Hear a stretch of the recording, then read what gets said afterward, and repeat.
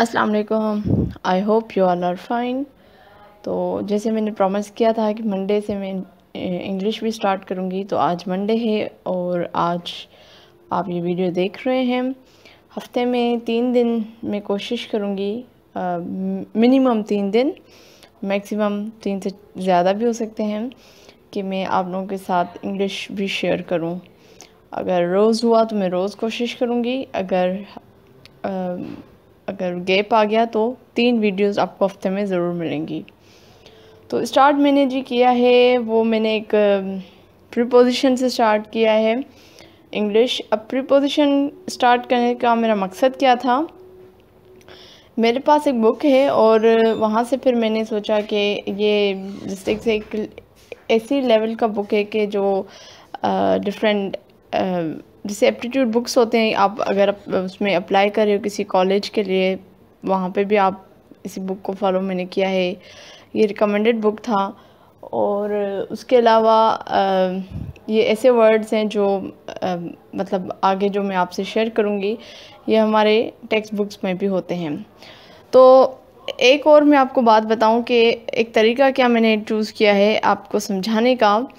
कि देखिए, ये सेंटेंस है ना, अगर मैं sentence number one पढ़ूँ the players agree to abide dash the referees decisions अब यहाँ पे लफ्ज़ है अबाइड ठीक है? ये अबाइड अब नेक्स्ट सेंटेंस में आए, वहाँ पे लफ्ज़ है अबाउंड्स थर्ड में आए एब्सकॉन्डेड फोर्थ में आए एब्जॉर्ब फिफ्थ में आए एब्सटेन ये वो अल्फाज हैं शायद जिनको मीनिंग हमें पता भी नहीं होगी।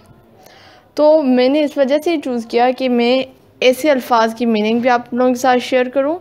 कल अगर इन्हीं अल्फाज में से कुछ सेनानियम्स आ जाएँ या एंटोनियम्स आ जाएँ तो हमें इनकी मीनिंग भी पता हो और हमें पता चल जाएगा कि कौन सा वर्ड कौन सी प्रिपोजिशन ले रहा है। तो प्लीज़ मुझे कमेंट में बताइएगा, क्या ये तरीका सही है? क्योंकि देखें जो सिंपल प्रिपोजिशंस होती हैं वो भी इसमें होंगी, ये मिक्स है। इसमें आगे देखेंगे, आपके बहुत इजी भी हैं, आप देखेंगे थोड़े मुश्किल भी हैं। तो बाकी जो नॉर्मली होते हैं सेंटेंसेस वो तो आप सबको आते होंगे।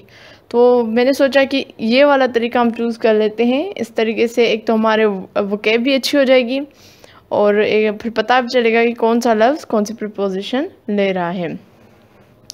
ठीक है जी तो स्टार्ट करते हैं। सबसे पहले मैं इसको रिमूव कर दूँ। ठीक। अच्छा स्टार्ट करते हैं। सबसे पहले जी लफ्ज़ प्रीपोजिशन है क्या? पहले भी हमने पार्ट्स ऑफ़ स्पीच में पढ़ा है कि जो प्रीपोजिशन है, वो वर्ड है एक जो किसी भी नाउन या प्रोनाउन को, का रिलेशनशिप बताता है उस ऑब्जेक्ट के साथ। ठीक है? तो स्टार्ट करते हैं। जैसे इन्होंने कहा है question number one the players agree to abide dash the referees decision अब जो लफ्ज़ है अबाइड इसका मतलब क्या है? इसका जो मतलब है एक्सेप्ट या ओबे ठीक है एक्सेप्ट करना या ओबे करना। जो प्लेयर है, वो एग्री कर रहा है मतलब इसका सेंस ये बन रहा है कि जो प्लेयर है, वो एग्री कर रहा है रेफरीज के डिसीशन के साथ। जो अबाइड है, वो लेता है हमेशा जो प्रीपोजिशन जो है बाय तो ऑप्शन बी इज़ करेक्ट मतलब जो अबाइड है, वो प्रीपोजिशन लेता है बाय सेकंड की तरफ़ आते हैं modern industry abounds dash the opportunities for young people with good scientific qualifications. A modern industry abounds. Abounds मतलब अबाउंट्स का मतलब है एग्जिस्ट इन लार्ज नंबर और अमाउंट मतलब अच्छी खासी नंबर में मौजूद होना ठीक है मतलब ऐसी मॉडर्न इंडस्ट्रीज़ बहुत ज़्यादा मौजूद हैं जो वो अपॉर्चुनिटीज़ दे रही हैं यंग पीपल को साइंटिफिक क्वालिफिकेशन के साथ तो जो अबाउट्स है, वो क्या लेता है? अबाउट्स जो प्रिपोजिशन लेता है, वो लेता है इन तो अगर अब हम पढ़ें modern industry abounds in opportunities ठीक है, यानी मौजूद है, अच्छी खासी अपॉर्चुनिटीज़ में for young people with good scientific qualification अब आते हैं क्वेश्चन नंबर थ्री की तरफ़. जूनियर कैशियर है absconded dash ten thousand rupees तो एब्सकॉन्डेड का मतलब क्या है? एब्सकॉन्डेड का जो मतलब है, वो है भाग जाना रन अवे स्केप तो मतलब उसने जो है इतने पैसे टेन थाउज़ेंड रुपीज़ जो उसने लेकर has absconded ten thousand rupees तो भाग गया है मतलब रन अवे तो इस इस एब्सकॉन्डेड क्या लेता है प्रीपोजिशन वो लेता है विथ मतलब वो इन पैसों के साथ भाग गया है। टेन थाउज़ेंड रुपीज़ लेकर वो भाग गया है। अच्छा इस वीडियो में ऑब्वियसली ये पार्ट्स पे है वीडियो तो आज में, हम हर दफ़े जो है ट्वेंटी वर्ड्स सीखेंगे मतलब ट्वेंटी क्वेश्चन ट्वेंटी एग्जाम्पल्स हम सॉल्व करेंगे। ठीक है? अब आते हैं क्वेश्चन नंबर फोर की तरफ़। The children were so absorbed dash their games they do not notice the passage of time absorbed मतलब इसका क्या मतलब है? इसका मतलब है कि वो बिल्कुल गुम हैं इस चीज़ में शौक हैं, भरे हुए हैं, ठीक है? कि उनको पता भी नहीं चला कि टाइम कितना टाइम गुजर चुका है। जो लफ्ज़ है एब्जॉर्ब वो कौन सी प्रिपोजिशन प्रिपोजिशन लेता है? वो लेता है इन तो the children were so absorb in their games अपने वो गेम में मौजूद हैं that they do not notice the passage of time मतलब उन्होंने अपने टाइम का भी नोट नहीं किया।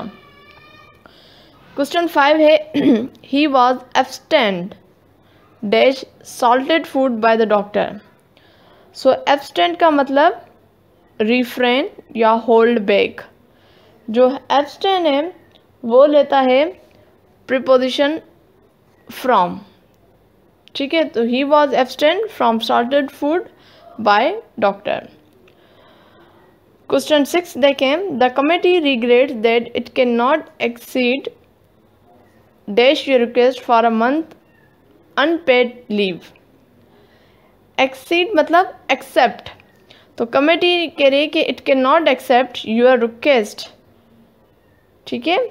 Except your request for a month unpaid leave तो एक्स एक्सीड जो है, वो कौन सी प्रपोजिशन लेता है? Exceed to your request except to your request ठीक है? तो इसका प्रिपोजिशन है to means option B is the correct तो एक्सीज का मतलब क्या है? एक्सेप्ट करना और ये एक्सीड जो है प्रिपोजिशन ले रहा है टू क्वेश्चन सेवन को देखें. Accord my information does not accord या अकॉर्डिंग जो हम मोस्टली यूज़ करते हैं according the report which has just been presented तो ये बहुत इजी है। हम most of the time use करते हैं। According to the law Newton's third law according to Newton's third law according to यहाँ से हमें अंदाज़ा रहा है, हो रहा है कि option A is the correct मतलब अकॉर्ड जो है अकॉर्ड हो अकॉर्डिंग टू लेता है। क्वेश्चन नंबर एट देखें। I have been accuse dash many things in my life but never of cowardice ठीक है? अब अक्यूज का क्या मतलब है? कि अक्यूज़ का मतलब होता है कि आप, आपके ऊपर मतलब कोई इल्ज़ाम लगाया गया है किसी भी क्राइम का, किसी भी उसका तो I have been accuse accuse जो है वो प्रिपोजिशन लेता है अक्यूज़ अक्यूज़ ऑफ़ अक्यूज़ जो है ऑफ़ की प्रिपोजिशन लेता है। Question number nine you will soon get accustomed dash the change of climate accustom means usual normal habitual ठीक है? तो अकस्टम्ड जो है प्रिपोजिशन लेता है, वो है टू तो accustom to the change of climate option A is the correct ठीक है?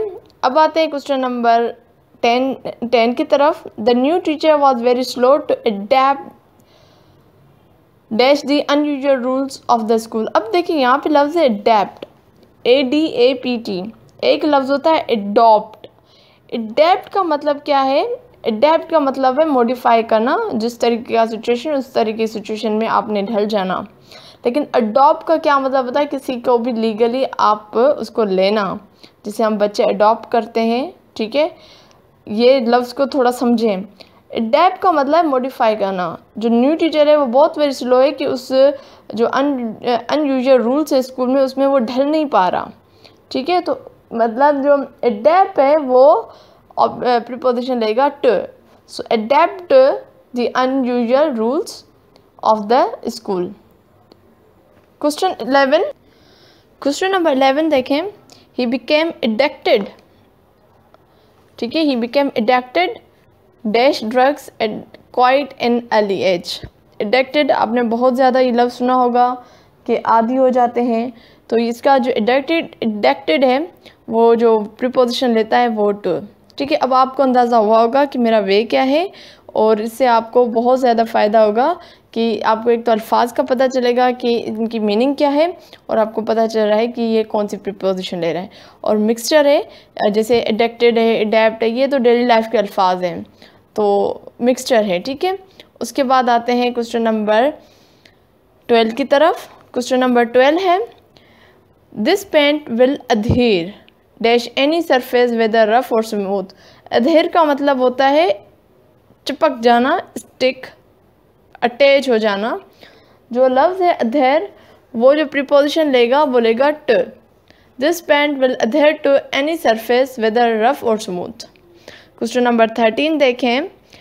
It is awful to be afflicted a sense of inferiority afflicted जो लफ्ज़ है, वो, उसका जो मतलब है, वो है बर्डन में आना या नुकसान में आ जाना या बॉदर होना तो ये जो अल्फाज है, ये जो प्रिपोजिशन लेता है, वो लेता है with so it is awful to be afflicted with a sense of inferiority question number fourteen देखें. The debate adjourned dash the following week अब लफ्ज़ है एडजॉर्ड एडजॉर्न जो, उसका मतलब है विड्रॉ या रिटायर होना.